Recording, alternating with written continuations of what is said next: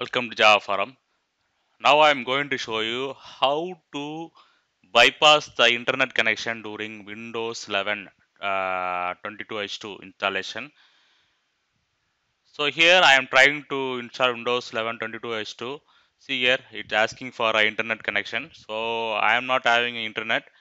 So how to bypass it? So just press Shift plus F10. So just press Shift plus F10. It will open uh, command prompt in administrator mode.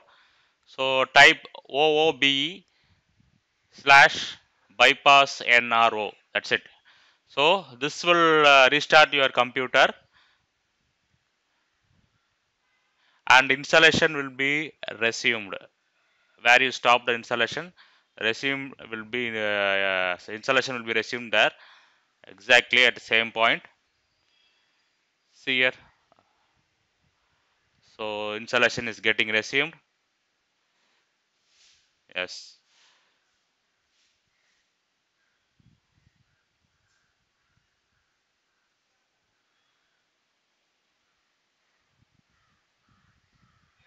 Yes. So finally, we can create a user account without internet internet connection. So just type uh, OOB slash uh, bypass NRO in Windows command prompts, which will restart your machine, and you can resume Windows 11 22 H2 installation without internet connection.